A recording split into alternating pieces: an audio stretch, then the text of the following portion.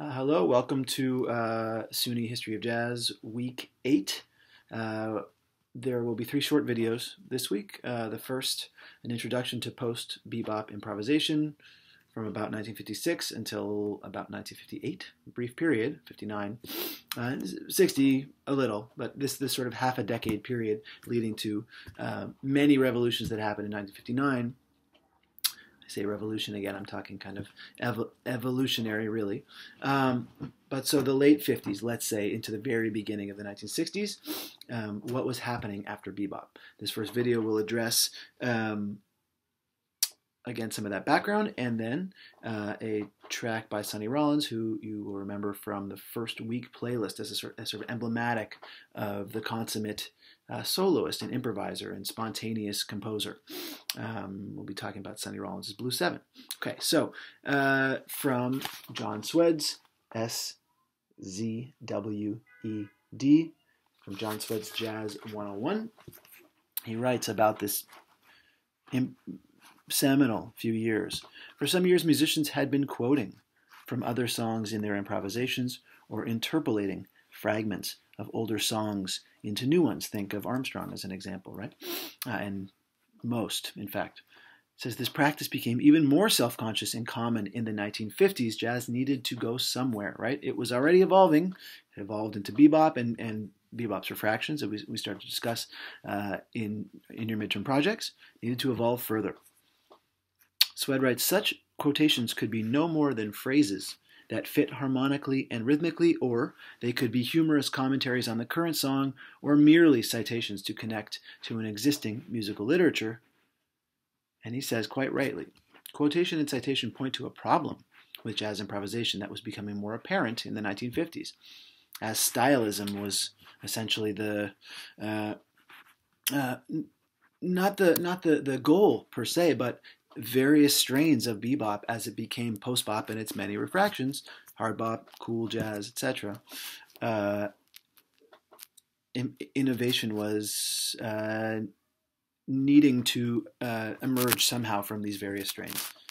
He writes musicians were either improvising by playing on the chord structure, so again, 32 bar song form, a 12 bar blues form, uh, as being the most common forms that they're being played on, but a cycle of chords, an A section, another A section, the bridge, the A, the B section, and then another A at the end, right? The same thing, then a contrasting section, same thing twice, a contrasting section, and then that first thing twice again, that 32 bar form broken into eights, or the 12 bar blues, again. Um, it says with the chorus as their formal unit, as in the thing that is the identifier in how a song is organized for so much jazz at this time, by then, had crystallized into 32 bar song form, again, 12 bar blues as well.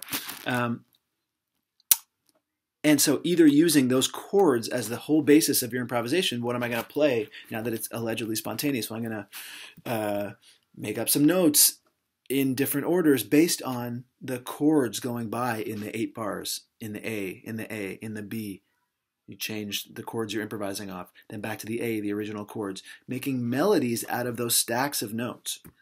That's what harmonic improvisation implies. It says, or embellishing the given melody. So whether you're just taking a melody and uh, he, Szwed mentioned this sort of humorous commentary and quoting other songs, whether you're taking a melodic unit and just kind of breaking it apart and reconstituting it, or you're improvising on the chord tones themselves, Either way, he says the problem was that there was a lack of cohesion and unity in the performance as a whole. That's a an umbrella statement, but again, it's implying something about the need for um, uh, for innovation to come from soloists, from comp- composers, from ensembles. Where was it going to? How was jazz going to progress? So Szwed writes one solution to the problem was to arrange and compose music that structured the improvisations. This was a method common among musicians involved with Miles Davis's Birth of the Cool, which we heard last week, right? So he's saying one strategy is um, uh, what became known finally in the 1950s and 60s as third stream, this idea of a kind of almost classical not almost, but a Western classical rigor in approaching uh, jazz composition as uh, through compose. So it's either you're taking the 32 bar song form and saying, let's do something longer and more involved with multiple strains, actually, in some ways, harkening back to the earliest jazz, to ragtime and the like. But you know that, that, that the compositional solution or a sort of improvisational solution, if you will, Szwed writes another solution was to improvise on the melody rather than the harmony, to stop making solos out of the chord tones and the passing tones in between them. Uh, and yet another was to build up solos from motives or shorter melody units. It was perhaps Sonny Rollins, remember Rollins again, the solo, his the the cohesion of his solo statement from uh, I can't get started from uh, from the, the the the anything we've heard Rollins play at this point. Every one of his solos has this kind of logical construction. So at that, with that in mind, then when we listen to Sonny Rollins' Blue Seven, okay, uh, Gunther Schuller, an important composer and musicologist and, and uh, popularizer of uh, jazz musicians and composers of the 1940s, 50s, 60s, ever since until his passing in his 90s, but a seminal figure in in recognizing jazz as both a uh, form worthy of study and also of um, uh, a form as uh, rigorous and um, uh, substantial as uh, the Western classical canon that he came from. Uh, Gunther Schuller was also a musicologist and an, a music analyzer. He suggested that Sonny Rollins' solution, quote, to some of the problems that were beginning to plague improvisers in the 1950s was to find a way to unify the source material and the improvisation by varying small portions, motives, little cells, of the original composition, then linking them together with other portions, though not necessarily in their original order. Right? This is kind of extending the idea of citing bits of melodies from popular songs that you know, or from varying a melody in a sort of orderly fashion, reconstituting those melodic kernels in different ways. Schuller's noting this in Rollins' playing. In the case of Blue 7, then, the first song on our YouTube playlist this week, Rollins, quote, uh, in, in, the, in uh, the solo, uh, played only with drums and bass, and the freedom from the usual chordal instruments seemed to liberate his thinking. At times, his variations were Parker esque bursts of notes that doubled the tempo, but at others they were merely a stripping down to essentials, say, only two notes, a single interval, but shrewdly chosen ones. The same two notes can be heard uh, in other recordings of Rollins as well. Uh, it was the sort of device that Thelonious Monk had explored and recordings such as Misterioso that we heard, uh, and something that Rollins may have learned from Monk during his stay with his band. Okay, so Rollins is this archetypal example of both um, stating coherently, stating improvisational materials coherently, making them make sense, if you will, stand up to rigorous analysis, right? And yet play with a freedom that seems oxymoronic along the lines of how can something be both structurally coherent but also free and, and free to go anywhere. Rollins was able to, through his combination of tinkering with melodic fragments and with uh, uh, the sort of in this case the accidental freedom uh, or not accidental but you know sort of the circumstantial the ensemble freedom of not having a chordal instrument a piano or a guitar to state chords and say i played this cluster of notes pick those to make your solo out of. All of a sudden he's soloing with the rhythm section. In truth the bass player suggests harmony as well in the lines that they that a bass player walks but it's nowhere near as um, constraining as a guitarist or a uh, pianist or a vibraphonist, indeed any harmonic instrument, who's articulating multiple notes and chords, constantly reminding a soloist of the skeleton that the skeletal structure that they're soloing against. Bringing up the connection to Monk is also interesting, not only because of the sort of uh, stylistic, um, inspirational um, debt that Rollins and anybody who played in his band owes to Monk, and indeed most who didn't as well, but because it, uh, Szwed is touching on something that's important. Rollins played in Monk's band for some time, for a good chunk of time, and with that came a kind of a, a distillation of Monk's ideas in Rollins' own playing, as we'll see later in the 1950s.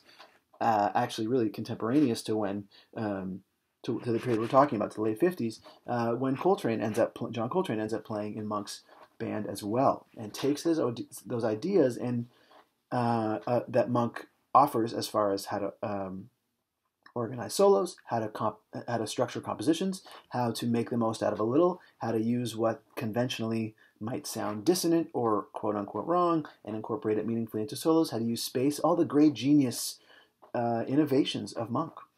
Rollins, in this case, later Coltrane, and anybody really who played in his band, were able to witness firsthand, were able to play that with him every night, however long that lasted. Some years, in fact.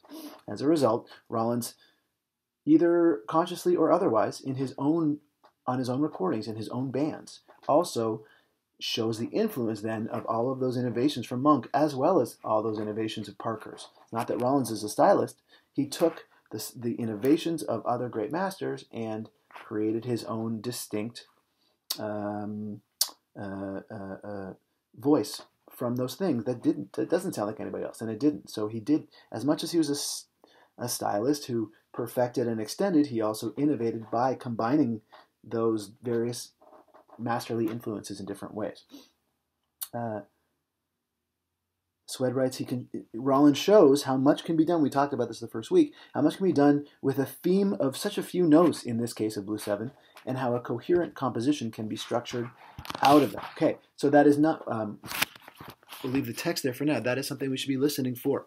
He takes the all the fast ideas of Charlie Parker, the double timing, uh, you know, sort of the bursting with ideas in a solo, the sparseness of Miles Davis, who Rollins also played with, the angularity of Monk, and those combinations of all those things, while still being ultimately just as famous for quotation and citation as any other less masterful improviser. That is what that is the genius of Sonny Rollins, is that his the voice that he ends up with, which is this kind of again this distillation of several distinct approaches ends up being unique in that in that combination of ingredients that he's come up with. So that's a little bit about both the both the the era post bebop era, the the middle and end of the 1950s, um, that we hear Sonny Rollins is really blossom as this important uh, um, uh, soloist and, and band leader and figure in jazz and also the other pieces that we'll hear this week.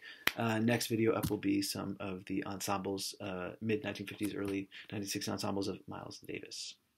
Uh, stay tuned for that.